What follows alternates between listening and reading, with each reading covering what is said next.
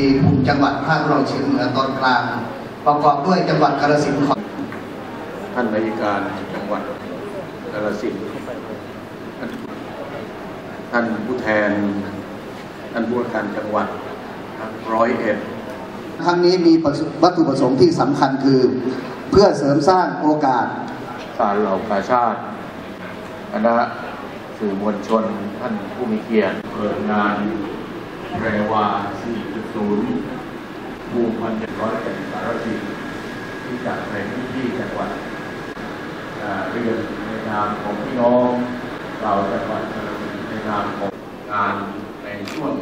กิจกรรม4วัน5วัน4คืนถือว่าเป็น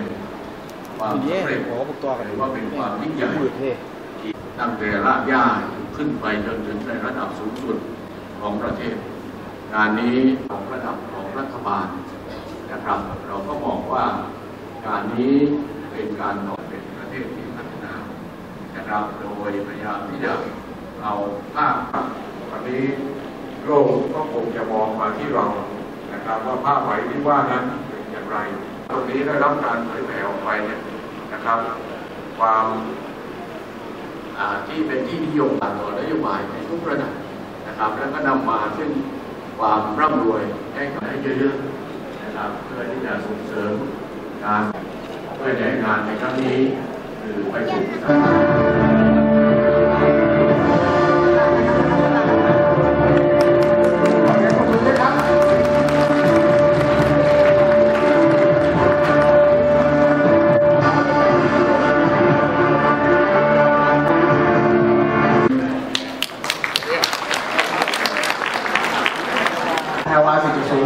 4.0ภูมิปัญญาทันยุคตลาดโลกนะฮะอะเดี๋ยวตอนนี้ถ่ายภาพร่วมกันอีกสัก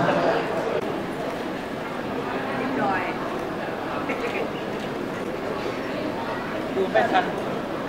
คุณกรต้องอธิบายนะครับผม